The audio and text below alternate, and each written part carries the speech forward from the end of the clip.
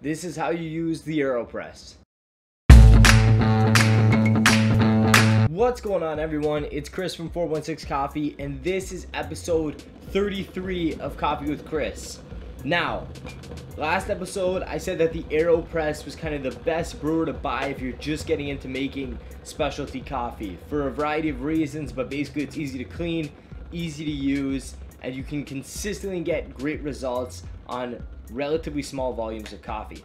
So, today I wanted to make a video showing you how to use the AeroPress. Now, I made an older video um, showing you how to use the inverted technique with the AeroPress, but today I'm going to show you how to do the traditional, the normal technique with the AeroPress with a few tweaks to make excellent coffee consistently.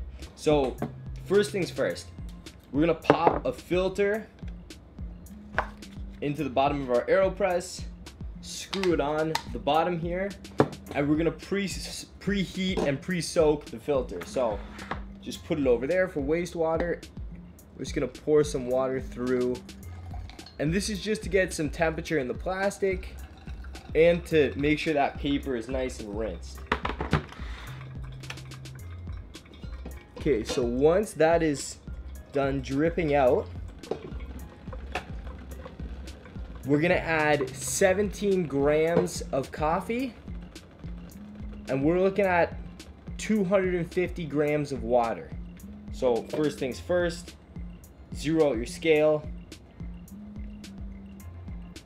so we're gonna add 17 grams of coffee. Now this coffee is ground medium fine. So on the fine end of kind of medium. Uh, the reason being is that we have a paper filter here, so we can grind finer and get more complete extractions. The only time you really wanna be grinding coarsely is when you have uh, metal filters or something that's gonna let too much coffee through. So medium fine for the AeroPress is perfect.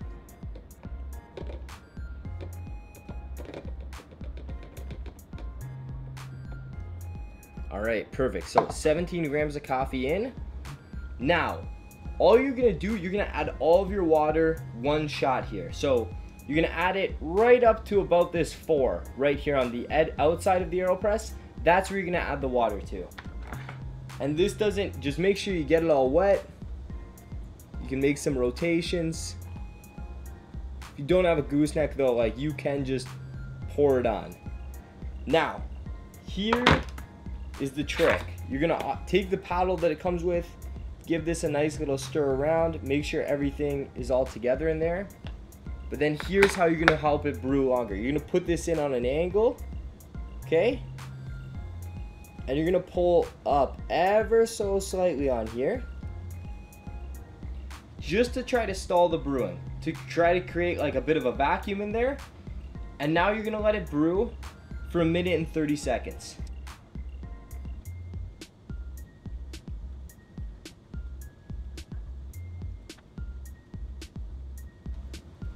All right, so we're coming up to a minute 30. And then once the minute 30 is over, you're just gonna plunge this. So the key is just slow and steady. This shouldn't have to be super forced. You don't have to ram this down. You just push in that beautiful brewed coffee through the filter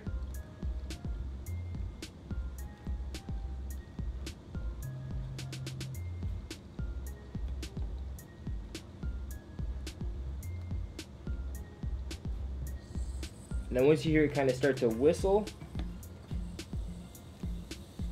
you can finish plunging.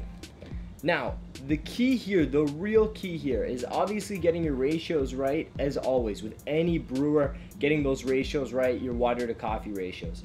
But as always, the biggest thing here is the that suction at the top of the brewer when we're when we add the coffee and we add the water and then we put the piston in on an angle and pull it back just a bit so that we can kind of stall the brewing and let that coffee really, really get extracted. That's the biggest part of this brewer. That's the only kind of little trick. After that, it's pretty straightforward. Like I said, a minute 30 brew time is good. If you like your coffee a bit stronger, see what it tastes like at a minute 45 or closer to two minutes. I wouldn't venture much lower than a minute 30 and I wouldn't venture much uh, much longer than two minutes. That's kind of where you want to stay.